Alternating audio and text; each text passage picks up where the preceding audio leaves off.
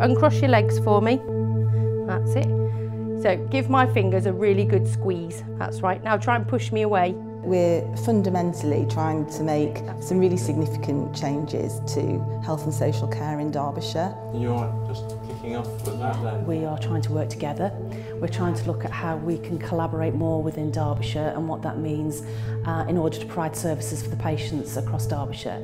Okay, we felt that just by writing a plan and saying that's what we wanted to do, that wasn't going to make that difference. And that's where we felt that an OD plan could help us to do that. Working together requires more than just changing procedures and pathways. So the OD element was very much around how do we start bringing the STP together to work as a more collaborative unit. And then put your hands back like this. Working across boundaries has um, opened up a lot of doors and shown us that actually we can make a difference and we can make this simpler if we just simply talk about it and work out of a simple way to do things.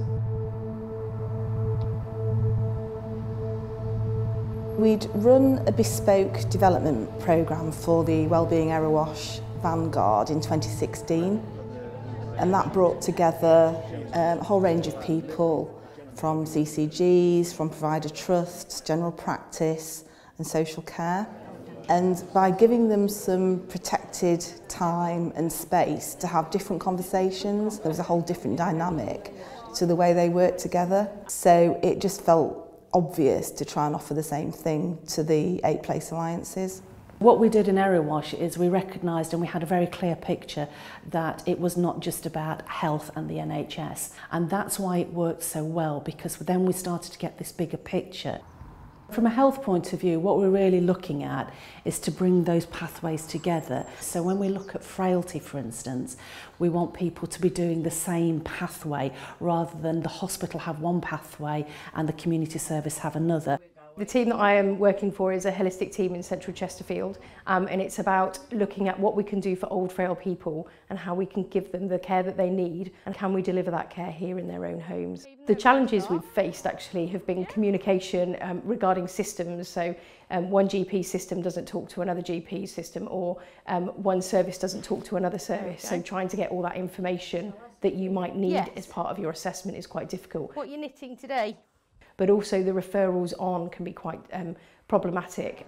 I think the reason that developing the Place Alliances lends itself to an OD project is because we're asking people to do something fundamentally different to what they've done before. We're asking them to change the way in which they deliver care, the way in which they organise themselves and their people.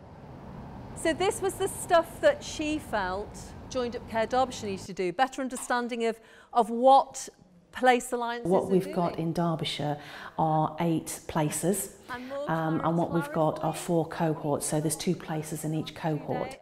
They will then work together and apply some of the tools that they're learning. This gives it an added depth and that's hopefully and intentionally the, the sustainability element of it. It's back to that trust element and when you leave this room, do you know it's going to happen or do you walk back into your organisations and your silos rather than think, hang on a minute, we've said we're going to work together as a place alliance on this.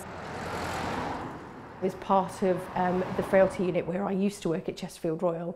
Um, we looked at how could we um, help to keep these people within their own homes rather than being in hospital.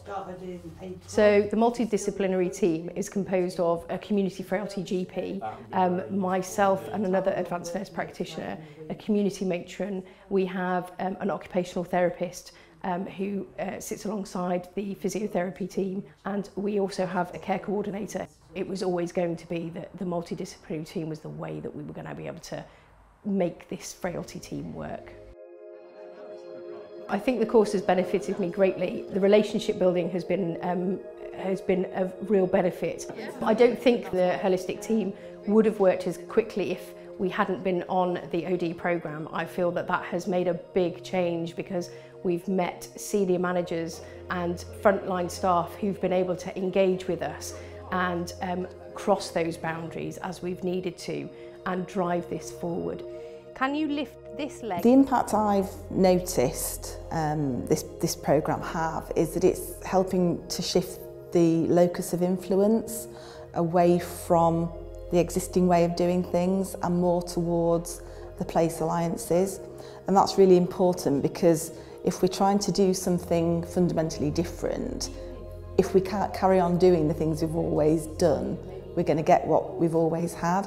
And I think this is helping us to have a different conversation and to approach things in a different way.